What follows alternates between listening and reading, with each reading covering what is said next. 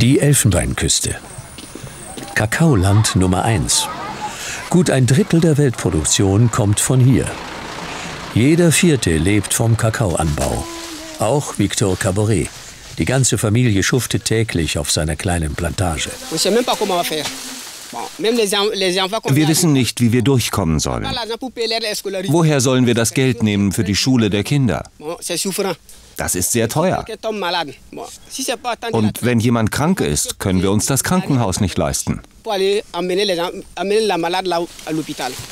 Bei den Caborets muss jeder ran, auch die Kinder. Bernard ist zwölf. Seit er acht ist, hat er jede Ernte mitgemacht. Ein knallharter Job. Er und die anderen Kinder müssen die reifen Schoten schleppen, von morgens bis abends, täglich, monatelang. Das Schlimmste ist die Schlepperei. Warum ist das das Schlimmste? Die Schlepperei. Warum?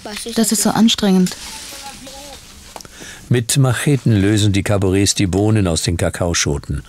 Auch dabei helfen die Kinder. Immer wieder verletzen sie sich. Bernard hat als einziges Kind der Familie überhaupt mal eine Schule besucht. Ob er es auch in Zukunft kann, weiß er nicht. Es hängt von der Ernte ab. Auch die anderen Kinder würden gern zur Schule gehen, aber dafür hat das Geld nie gereicht. Für die Schokoladenhersteller sind Kinder wichtig. Als Zielgruppe.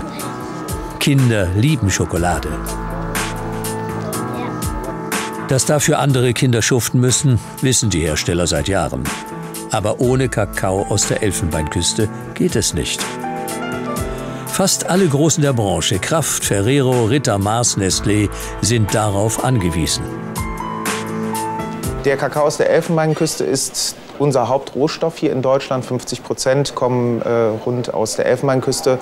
Und fast alle Hersteller, sofern sie nicht gerade Herkunftsschokoladen haben, äh, beziehen Kakao aus der Elfenbeinküste. Eines der Kinder auf der Plantage von Victor Caboret schuftet auffällig hart. Daniel, 15 Jahre. Er trägt am schwersten und macht nie Pause. Er ist kein Kind der Familie. Er ist ein Kindersklave aus dem Nachbarland Burkina Faso. Ein Mann hat mich mitgenommen und gesagt, ich werde mit Kakao arbeiten. Vor fünf Jahren hat Victor Caboret Daniel gekauft. Da war er zehn. Seine Eltern hat er seitdem nicht mehr gesehen. Er gehört jetzt Victor Caboret. Zur Familie wird er nie gehören. Die Arbeit ist sehr ermüdend. Manchmal verletzt man sich dabei. Es ist viel Arbeit. Ich habe kein Geld für erwachsene Angestellte. Was soll ich tun? Wo immer du sparen kannst, machst du es, auch wenn du es nicht willst. Wir zeigen unsere Aufnahmen Friedelhütz Adams vom Forschungsinstitut Südwind. Für eine Studie hat er die dunklen Seiten der Schokolade erforscht.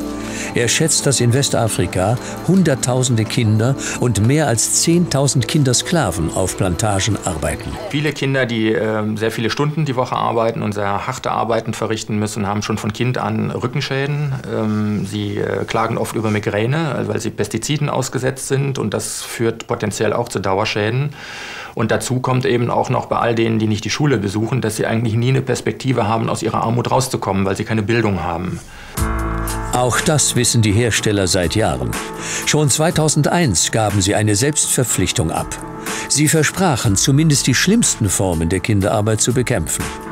Für tausende Kinder hat sich bis heute nichts geändert. Die Bedingungen in der Elfenbeinküste, gerade das Land wird besonders angesprochen, die sind durch die politischen Verhältnisse immer noch instabil und man erreicht da nicht jeden einzelnen Bauern. Das ist so.